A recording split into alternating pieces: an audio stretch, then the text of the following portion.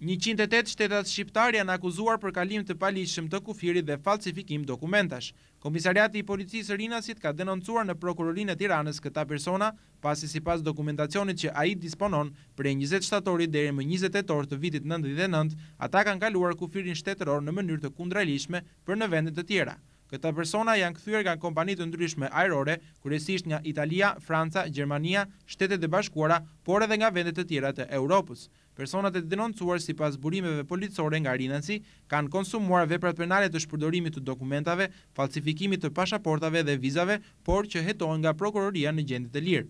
Ky fluks kaq i madh të kthyeresh nga vende të ndryshme perëndimore ka ngjallur dyshimet e rastit edhe për implikime të mundshme të personelit punonjës në Aeroportin Ndërkombëtar të Rinasit si ata civilë dhe ushtarakë. Megjithatë, i mbetet prokurorisë e cila ndërkaq ka nisur hetimin përkatës të vërtetojë ose jo pistën e implikimit të punonjësve për nisjen e hetimeve nga Prokuroria e Tiranës për këtë dosje, ndërkaq janë informuar edhe krerët më të lartë të Ministrisë së Rendit Publik.